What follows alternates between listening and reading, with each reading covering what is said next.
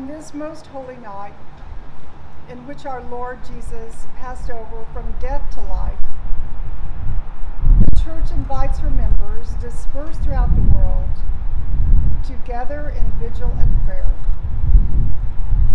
For this is the Passover of the Lord, in which by hearing his word and celebrating his sacraments, we share in his victory over death. Us pray. O God, through your Son, you have bestowed upon your people the brightness of your light. Sanctify this new fire, and grant that in this paschal feast we may so burn with heavenly desires that with pure minds we may attain to the festival of everlasting light through Jesus Christ our Lord. Amen. The light of Christ. Thanks be to God. The light of Christ. Thanks be to God. The light of Christ. Thanks be to God. Rejoice now, heavenly host and choirs of angels, and let your trumpets shout salvation for the victory of our mighty King. Rejoice and sing now all around earth, bright with the glorious splendor. For darkness has been vanquished by our eternal King. Rejoice and be glad now, Mother Church, and let your holy courts in radiant light resound with the praises of your people. The Lord be with you. And also with you. Let us give thanks to the Lord our God.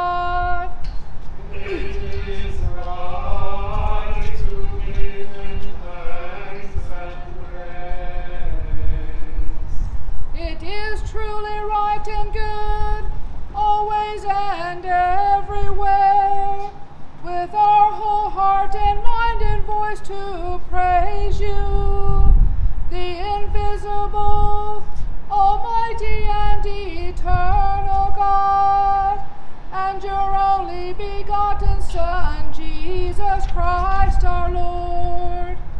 For he is the true paschal lamb, who at the feast of the Passover paid for us the debt of Adam's sin, and by his blood delivered your faithful people. This is the night when you brought our fathers, the children of Israel, out of bondage in Egypt, and led them through the Red Sea on dry land. This is the night when all who believe in Christ are delivered from the gloom of sin and are restored to grace and holiness of life. This is the night when Christ broke the bonds of death and hell and rose victorious from the grave. Holy Father, accept our evening sacrifice, the offering of this candle in your honor. May it shine continually to drive away all darkness. May Christ, the morning star who knows no setting, find it ever burning. He who gives his light to all creation, and who lives and reigns forever and ever. Amen. Let us hear the record of God's saving deeds in history, how he saved his people in ages past, and let us pray that our God will bring each of us to the fullness of redemption. A reading from the book of Exodus. As Pharaoh drew near, the Israelites looked back, and there were the Egyptians advancing on them. In great fear, the Israelites cried out to the Lord. They said to Moses, Was it because there were no graves in Egypt that you have taken us away to die in the wilderness? What have you done to us, bringing us out of Egypt? Is this not the very thing we told you in Egypt? Let us alone, and let us serve the Egyptians. For it would have been better for us to serve the Egyptians than to die in the wilderness. But Moses said to the people, Do not be afraid, stand firm, see the deliverance that the Lord will accomplish for you today. For the Egyptians whom you see today, you shall never see again. The Lord will fight for you, and you have only to keep still. Then the Lord said to Moses, Why do you cry out to me? Tell the Israelites to go forward. But you lift up your staff and stretch out your hand over the sea and divide it, that the Israelites may go into the sea on dry ground. Then I will harden the hearts of the Egyptians so that they will go in after them. And so I will gain glory for myself over Pharaoh and all his army, his chariots, and his chariot drivers. And the Egyptians shall know that I am the Lord, when I have gained glory for myself over Pharaoh, his chariots, and his chariot drivers. The angel of God, who was going before the Israelite army, moved and went behind them. And the pillar of cloud moved from in front of them and took its place behind them. It came between the army of Egypt and the army of Israel. And so the cloud was there with the darkness, and it lit up the night. One did not come near the other all night. Then Moses stretched out his hand over the sea. The Lord drove the sea back by a strong east wind all night, turned the sea into dry land, and the waters were divided. The Israelites went into the sea on dry ground, the waters forming a wall for them on their right and on their left. The Egyptians pursued and went into the sea after them, all of Pharaoh's horses, chariots, and chariot drivers. At the morning watch, the Lord, in the pillar of fire and cloud, looked down upon the Egyptian army threw the Egyptian army into panic. He clogged their chariot wheels so that they turned with difficulty. The Egyptians said, Let us flee from the Israelites, for the Lord is fighting for them against Egypt.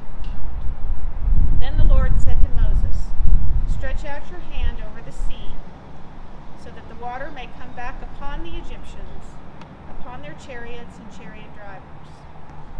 So Moses stretched out his hand over the sea, and at dawn the sea returned to its normal depth. As the Egyptians fled before it, the Lord tossed the Egyptians into the sea. The waters returned and covered the chariots and the chariot drivers, the entire army of Pharaoh that had followed them into the sea. Not one of them remained. But the Israelites walked on dry ground through the sea, the waters forming a wall for them on their right and on their left. Thus the Lord saved Israel that day from the Egyptians. And Israel saw the Egyptians dead on the seashore. Israel saw the great work that the Lord did against the Egyptians. So the people feared the Lord and believed in the Lord and in his servant Moses. Then the prophet Miriam, Aaron's sister, took a tambourine in her hand, and all the women went out after her with tambourines and with dancing. And Miriam sang to them, Sing to the Lord, for he has triumphed gloriously. Horse and rider he has thrown into the sea.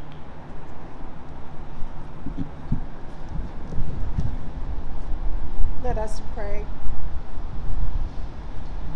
O God, whose wonderful deeds of old shine forth even to our own day, you once delivered by the power of your mighty arm your chosen people from slavery under Pharaoh to be a sign for us of the salvation of all nations by the water of baptism. Grant that all the peoples of the earth may be numbered among the offspring of Abraham and rejoice in the inheritance of Israel through Jesus Christ our Lord.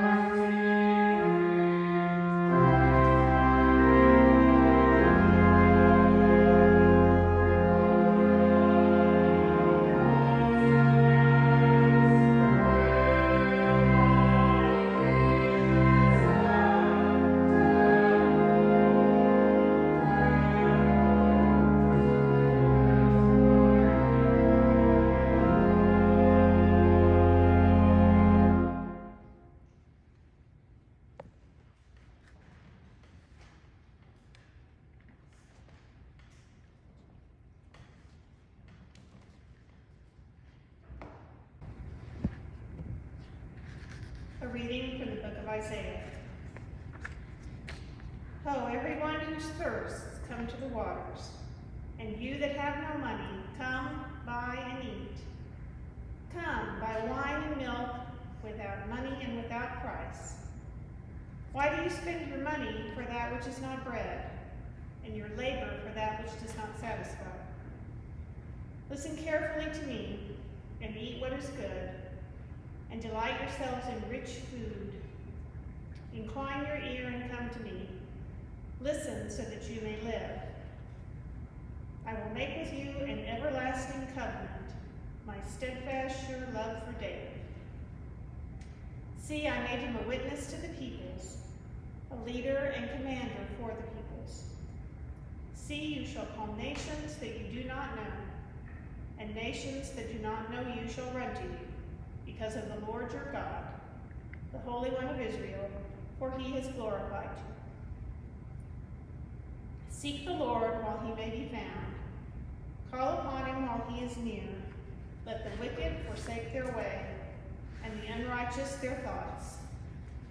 Let them return to the Lord, that he may have mercy on them and to our God, for he will abundantly pardon. For my thoughts are not your thoughts, nor are my ways your ways, says the Lord. For as the heavens are higher than the earth, so are my ways higher than your ways, and my thoughts than your thoughts. For as the rain and the snow come down from heaven and do not return there until they have watered the earth, making it bring forth and sprout, giving seed to the sower and bread to the eater, so shall my word be that goes out from my mouth. It shall not return to me empty, but it shall accomplish that which I purpose, and succeed in the thing for which I sent it.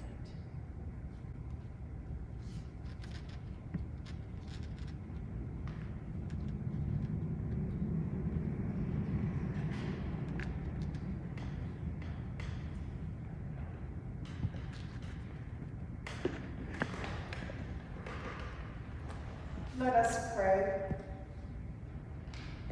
O God, you have created all things by the power of your word, and you renew the earth by your spirit.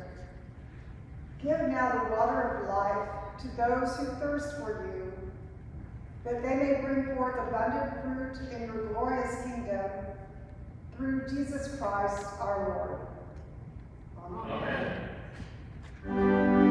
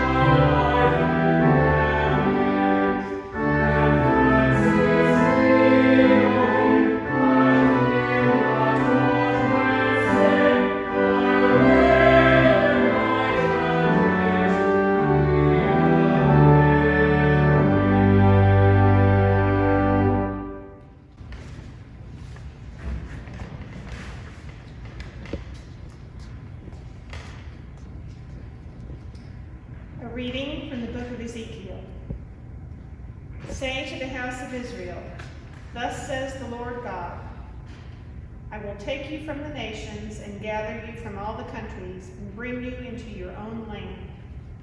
I will sprinkle clean water upon you, and you shall be clean from all your uncleannesses, and from all your idols I will cleanse you. A new heart I will give you, and a new spirit I will put within you.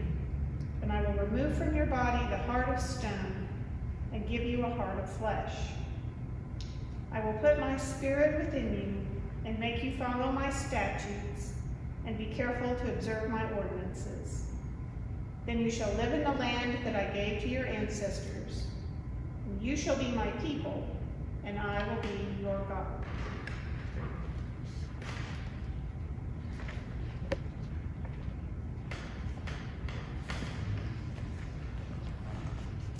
Let us pray. Almighty and everlasting God, who in the paschal mystery established the new covenant of reconciliation, grant that all who are reborn into the fellowship of Christ's body may show forth in their lives what they profess by their faith, through Jesus Christ our Lord. Amen. Amen. The Lord be with you. And also with you. Let us pray. O God, who made this most holy night to shine with the glory of the Lord's resurrection, stir up in your church that spirit of adoption which is given to us in baptism, that we, being renewed both in body and mind, may worship you in sincerity and truth, through Jesus Christ our Lord, who lives and reigns with you in the unity of the Holy Spirit, one God, now and forever. Amen. Amen.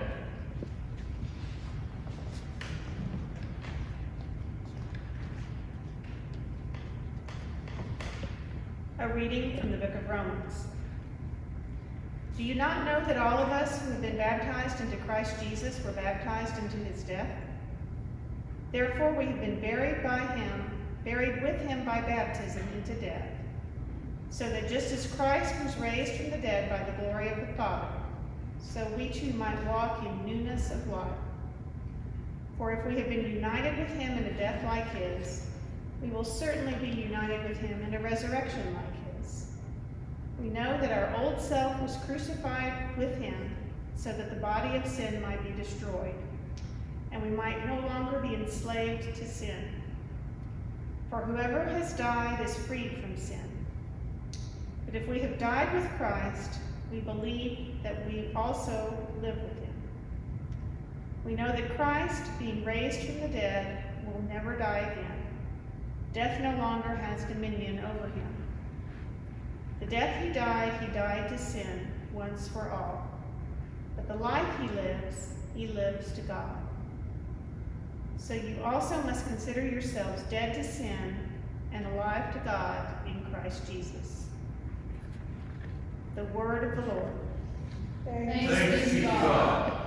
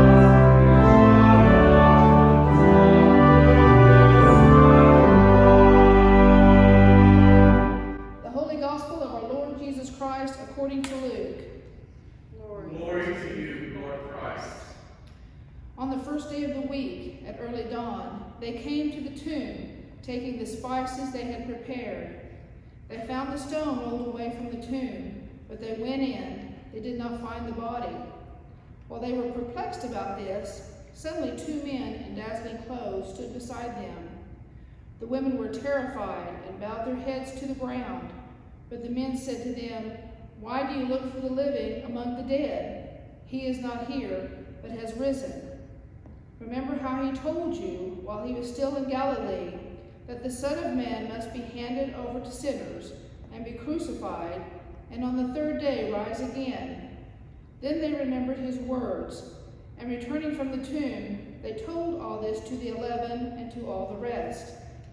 It was Mary Magdalene, Joanna, Mary the mother of James, and the other women with them, who told this to the apostles. But these words seemed to them an idle tale, and they did not believe them. But Peter got up and ran to the tomb. Stooping and looking in, he saw the linen cloths by themselves. Then he went home, amazed at what had happened. The Gospel of the Lord. Praise, Praise to you, Lord Christ. Christ.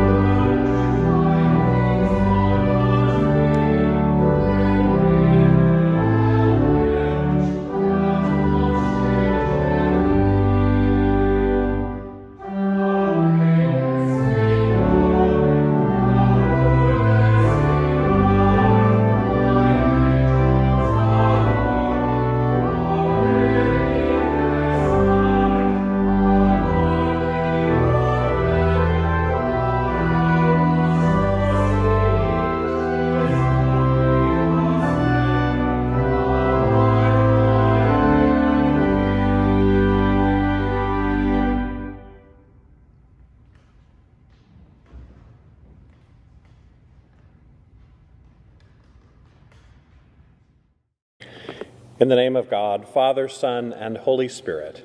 Amen. Have you ever told stories around a campfire?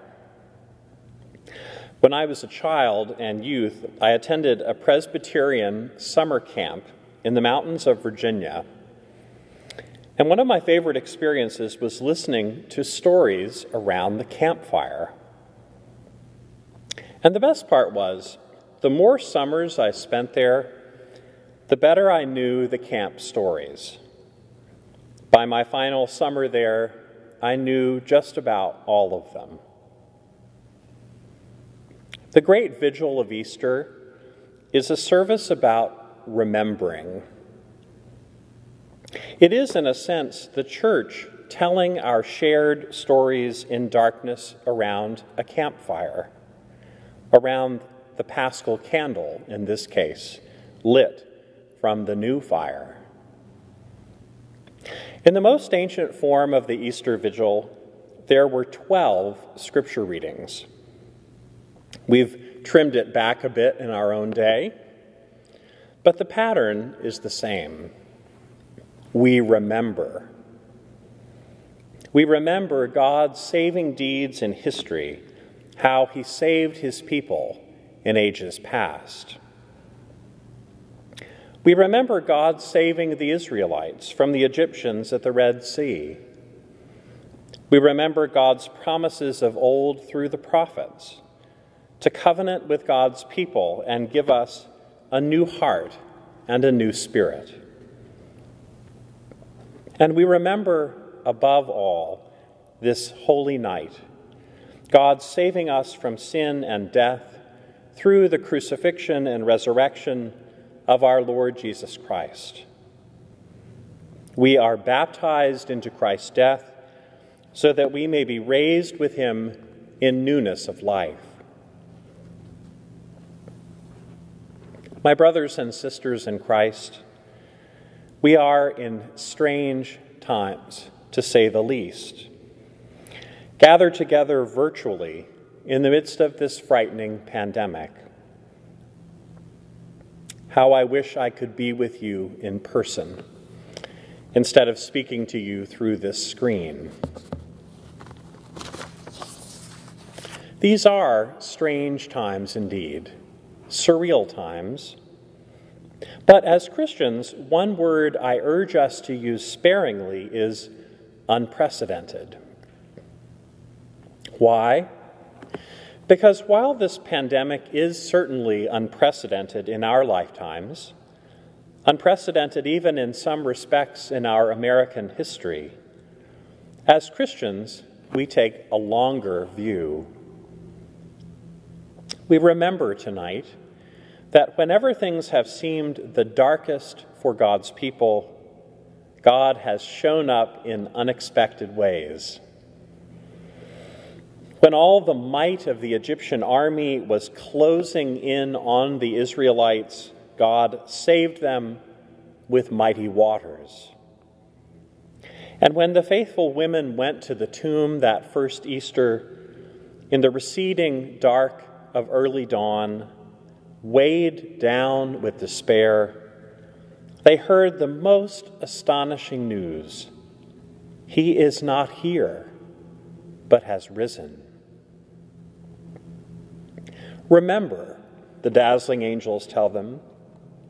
Remember how he told you while he was still in Galilee that the Son of Man must be handed over to sinners and be crucified, and on the third day rise again.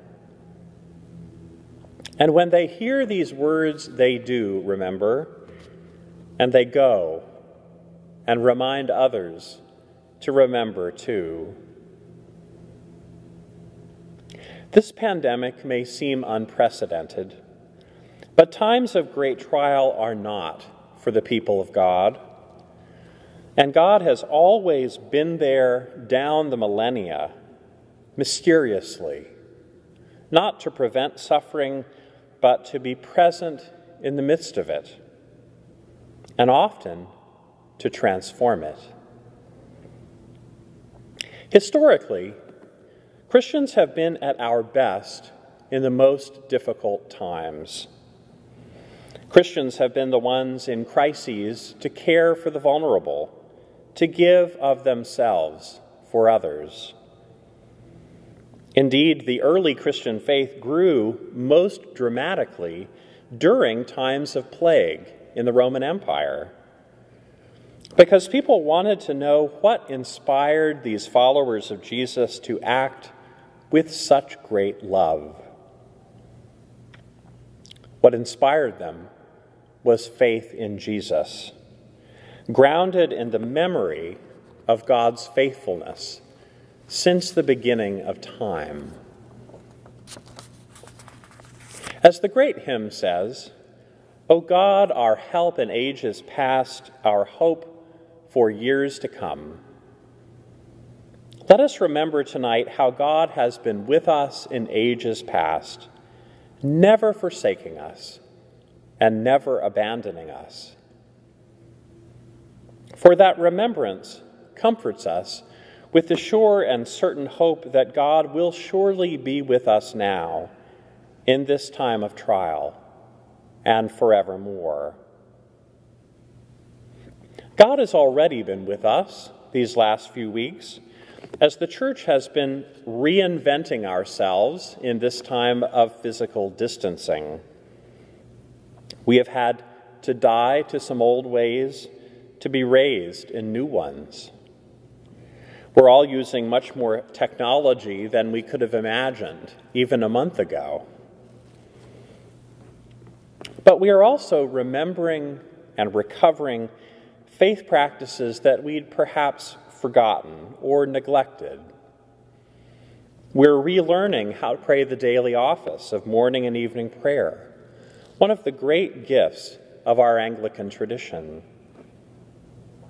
We're taking our old Bibles off the shelf. We're remembering how to do phone trees to check on each other, remembering how to cook and bake, sit down to eat as families, or leave food on our neighbor's doorstep.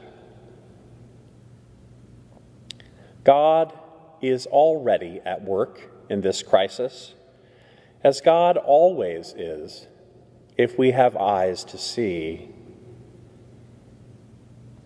My new friends, the beloved of God in Oklahoma, may God, who raised Jesus Christ from the dead, enliven us with grace to bring God's light and life to all those whom we encounter. And may our memories of his saving power in ages past inspire us to selfless love of God and our neighbor in this trying time. This is our story, and God is telling the next part through us. Amen.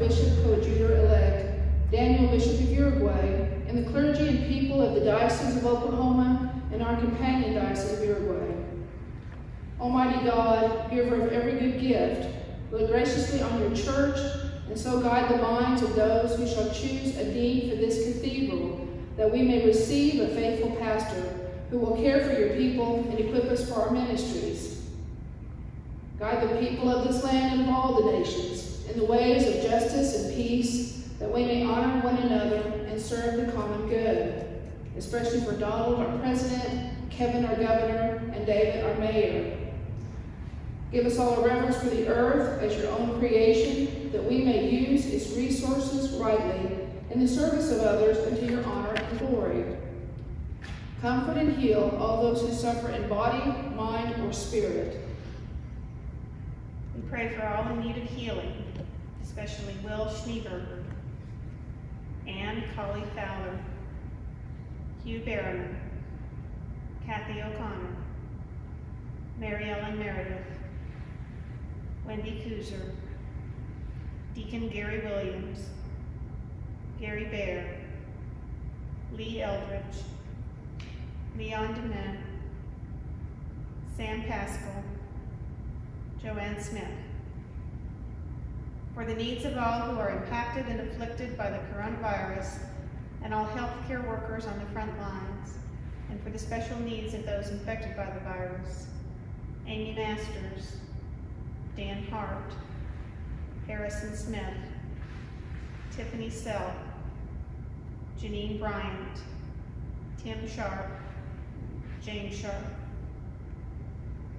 Defend all who are serving our country, especially those in dangerous circumstances. For all who are celebrating birthdays and anniversaries, and for all who are traveling. Give, let, give rest and let light perpetual shine upon those who we hold in memory this day, and for the recently departed Carolyn Von Steele Bokenbach, Henry Blenderman and Gail Malmstrom, Tim Cott, Mary Totenkall, Sister Jan Futrell. And we pray that we may share with all your saints in the joy of your eternal kingdom.